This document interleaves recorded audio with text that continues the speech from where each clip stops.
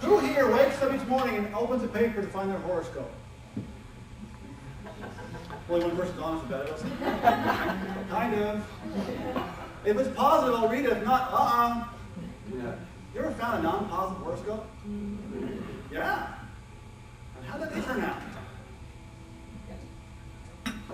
If you truly believe in horoscopes and you read it and it wasn't that positive, I can guarantee your day wasn't that positive. Oh my gosh! I better call for the next baseball score. Who's going to win this championship in the NBA? They're that good. Are they? No. What happened?